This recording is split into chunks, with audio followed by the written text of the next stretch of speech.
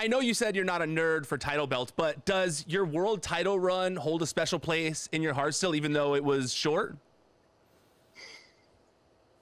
World title run. uh, the time that you held the world title. Um, yeah. Oh my God. Of course. Uh, this ridiculous, um, this ridiculous time. That was some of the best time of my uh, my career and having fun with things, especially since um, I, I got the Money in the Bank contract. I had the briefcase, and it had to count as one of my carry-ons, by the way, because I had to take it with me everywhere.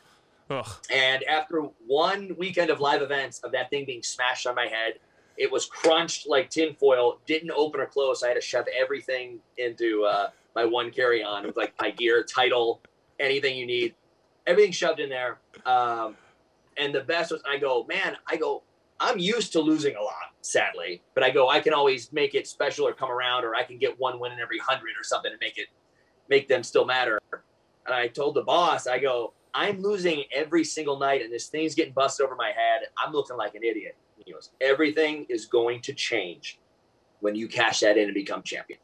And I went, case closed. I get it. You have it. I have this get out of jail free card where we can use me to help everybody else out until the time is right.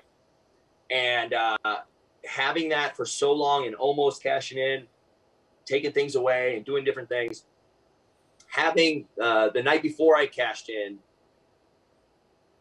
90% of a WrestleMania crowd chanting for me in a match I'm not in is something I will never ever forget.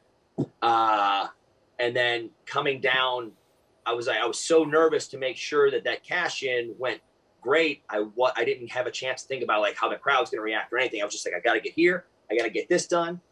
And the music hit and it felt like there was like this split second of nothing and then this noise hit my body like like pins on my body and I went I think it was almost a picture of me like, "Oh, like whoa, this is bigger than I even thought." And uh, cashing in was, uh, I mean, having fun with that match that three, three and a half minutes is a friggin' a work of art. It is a Picasso painting because you had all these people. The reason I have this briefcase, the reason I have this contract, the reason I'm fighting, trying to get the world title is because even if I was getting beat up or not getting TV time, the crowd and everyone online was still behind me because of the work.